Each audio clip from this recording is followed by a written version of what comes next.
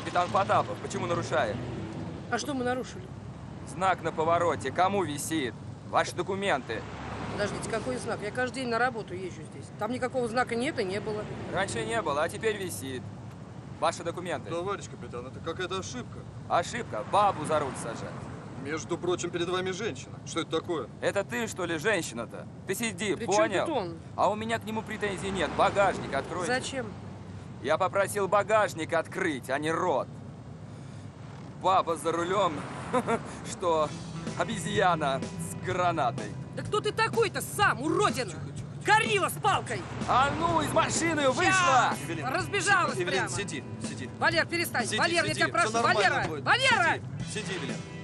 Что В чем значит дело? сиди, а? Ты будешь своими солдатами командовать и вообще скажи своей мамаше. Это не мамаша тебе никакая. А кто, папаша, что ли? Что ты сказал?